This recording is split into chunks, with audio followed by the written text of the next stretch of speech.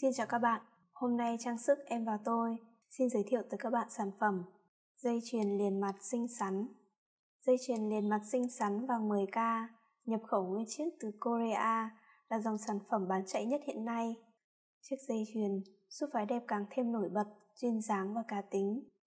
Với đường nét thiết kế tinh tế, độc đáo, phù hợp phong cách thời trang và phụ kiện hiện đại.